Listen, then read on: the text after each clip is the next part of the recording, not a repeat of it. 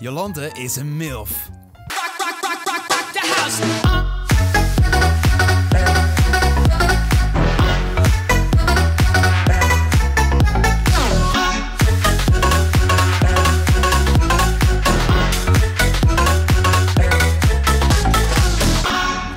This is Enzo. Enzo is a famous Dutch YouTuber. He's making videos about his boring life and earns a lot of money of it. People think he's a lazy ass motherfucker. Enzo doesn't give a fuck. Be like Enzo. This is Giel. Giel plays music on the radio. When a boy band sings like crap in his show, he cuts them off. Not for being a complete bitch, but for their own protection. Giel is smart. Be like Giel.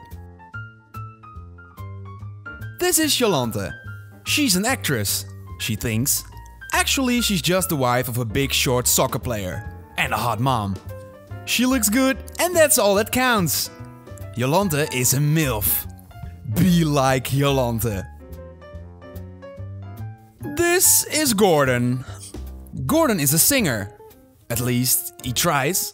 He hates colleagues with a drinking problem and like to tell that in public. In the end, he will always be alone. With his right hand. Gordon is tough. Be like Gordon. This is Geert. Geert is a political figure with a blind hairdresser. The ideal life of Geert is a world without Muslims, refugees, and democracy. Wake up, Geert, and be fucking realistic. Geert is weird. Please, don't be like Geert. This is Geraldine. Geraldine is a smoking hot television host.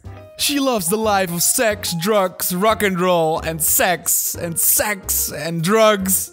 Besides boys, she also loves Kim Veenstra. Geraldine is bisexual. Please, girls, be like Geraldine. Bedankt voor het kijken naar deze hashtag geinig. Wil je nog een andere hashtag geinig zien, niet van vorige week? Klik dan links onderin. En wil je een Pokkers Classic zien? Kijk dan rechts onderin. Zien we jou dinsdag bij een nieuwe hashtag bluff. Later!